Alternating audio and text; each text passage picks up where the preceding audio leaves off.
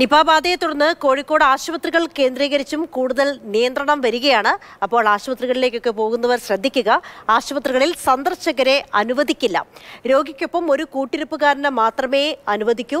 Containment സോണിൽ കള്ളുചത്ത് പാടില്ല എന്ന നിർദ്ദേശവും വരുന്നുണ്ട്. പി വി ശാലിനി വിവരങ്ങളുമായി ചേർന്നു ശാലിനി ഈ നിപയുമായി ബന്ധപ്പെട്ട് കൂടുതൽ നിയന്ത്രണങ്ങൾ എന്തൊക്കെയാണ്?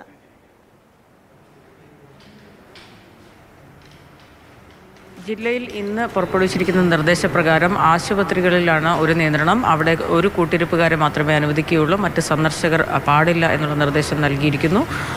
അതോടൊപ്പം ഷോപ്പിംഗ് കോംപ്ലക്സുകൾ മാളുകൾ എന്നിവിടങ്ങളിലേക്കുള്ള സന്ദർശനം പരമാവധി കുറയ്ക്കാനും നിർദ്ദേശമുണ്ട്.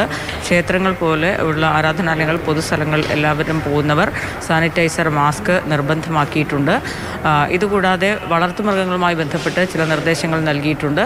വളർത്തുമൃഗങ്ങൾക്ക് അസ്വാഭാവികമായ ലക്ഷണങ്ങളോ രോഗലക്ഷണങ്ങളോ അതുപോലെ മരണമോ റിപ്പോർട്ട് ചെയ്താൽ ഉടനെ തന്നെ ഈ വിവരം മൃഗസംരക്ഷണ വകുപ്പിനെ അറിയിക്കണം.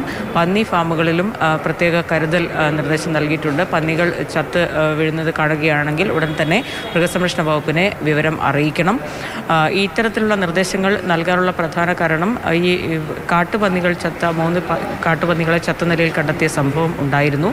പന്നികളിലാണ് ആയിരത്തി തൊള്ളായിരത്തി തൊണ്ണൂറ്റി ഒമ്പതിൽ മലേഷ്യയിൽ ഇത്തരത്തിൽ ആദ്യം നിപ്പ റിപ്പോർട്ട് ചെയ്യപ്പെടുകയും പന്നികൾ കൂട്ടത്തോടെ ചാവുകയും ചെയ്തിരുന്നു. പന്നി ഫാമുകളിലായിരുന്നു. അത് വളർത്തു പന്നികളായിരുന്നു. കാട്ടുപന്നികളിൽ ഇതുവരെ ഇത്തരത്തിലുള്ള നിപ്പ ബാധ റിപ്പോർട്ട് ചെയ്യപ്പെട്ടിട്ടില്ലെങ്കിലും മരണം റിപ്പോർട്ട് ചെയ്യപ്പെട്ടിട്ടില്ലെങ്കിലും ആ ഭാഗം കൂടി പരിശോധിക്കാനാണ് മൃഗസംരക്ഷണ വകുപ്പ് തീരുമാനിച്ചിരിക്കുന്നത്. ഇന്ന് ഇപ്പോൾ നടക്കുന്നത് അവലോകന യോഗമാണ്. അവലോകന യോഗത്തിൽ ആരോഗ്യമന്ത്രി ഓൺലൈനായി പങ്കെടുക്കുന്നുണ്ട്. ബാക്കി കേന്ദ്ര സംഘ ആളുകൾ കേന്ദ്ര സംഘത്തിലെ ആളുകളും അതോടൊപ്പം തന്നെ ജില്ലയിൽ ഇന്ന് ഉള്ള ഉന്നതതല സംഘത്തിലെ ആളുകളും ഈ യോഗത്തിൽ പങ്കെടുത്തുകൊണ്ടിരിക്കുകയാണ്. ഈ യോഗത്തിന് ശേഷം ഇന്ന് സമ്പർക്ക പട്ടിക വിപുലീകരിച്ചതുമായി ബന്ധപ്പെട്ട വിവരങ്ങൾ പുറത്തുവരുമെന്ന് പുറത്തു വരുമെന്ന് പ്രതീക്ഷിക്കുന്നു അതോടൊപ്പം തന്നെ കൂടുതൽ നിയന്ത്രണങ്ങളും നിർദ്ദേശങ്ങളും വരുമെന്നാണ് പ്രതീക്ഷിക്കുന്നത്.